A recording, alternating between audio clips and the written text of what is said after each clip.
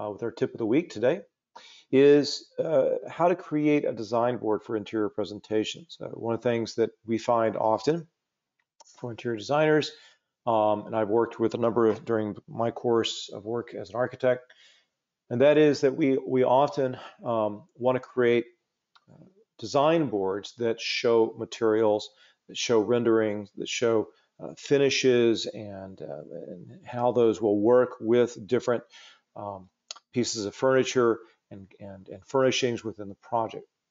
And so this is a very good example of some from some different uh, clients uh, where, you know, uh, a more traditional way of doing a finish board where you are simply putting together different uh, materials and the different types of furnishings for a project to kind of create a, a synergy of, of what you're trying to get across as a design idea. So how we would do that in, in the sort of digital land here uh, in, traditionally has been to use something like InDesign or Apple's Pages as basically just a traditional page layout program, right? Where we create a design board of a certain shape, size. Uh, we start to drag on some different images, um, some different materials as just, again, also digital materials, and perhaps maybe uh, uh, in some cases, uh, either a rendering from a program like SketchUp that maybe we're using, or uh, maybe even sketch renderings that we've done, taken a picture of, and then brought in. And in any case, we're just using it as a page layout program. Now, what ArchiCAD allows us to do is to actually do the same, create the same effect, but now to bring together the page layout program with the idea of a design board that we might have done you know, manually in the past, and also our 3D views that we can create and then place onto these boards.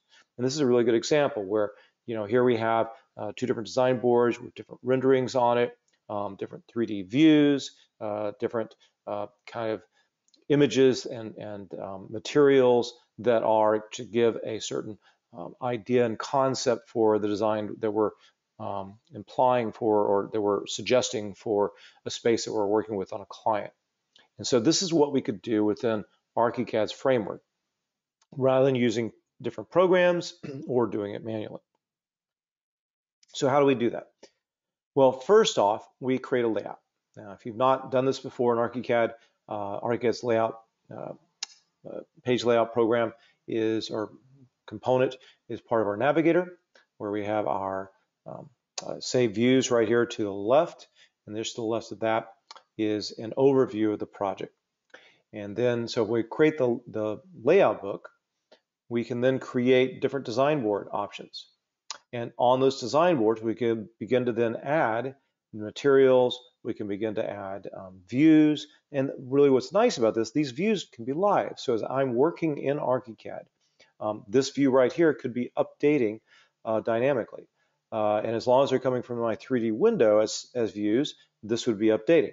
If it's an actual rendered view, then I would save that rendered view, place it on here, uh, and then it's linked. And so this is, you know, a, a, really great way to start to create and put together this, this design board. The other nice thing about it is that I can customize this to have my specific information for my, my um, uh, firm, right? So not only with logos and, and, and what you would expect for sort of a title block, but also with intelligent information, uh, such as your project name, uh, your address, your site, um, you know, what um, uh, order is it on the project and have it relate back to other information. So all that information can be updated so this become a reflective of your uh, specific context of your firm. And then as we, we have all that kind of um, placed on in terms of the way we want our title block or we want you know this look and feel for our particular um, firm, we can just simply start to add on external drawings. So we can go into our file menu, go down to external content, place external drawing, and we can begin to place on very quickly, uh, you know, different um, uh, images that we may have brought in from different sources. We can use it by placing external drawing. We just copy and paste as well right into here.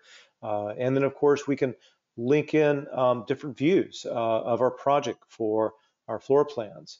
um, and uh, other elements within ArchiCAD that we may be working on as design items. So it's a really fast way that we can begin to bring in images, text, renderings, plans, and other content to create that design board that we need as part of our interior design process.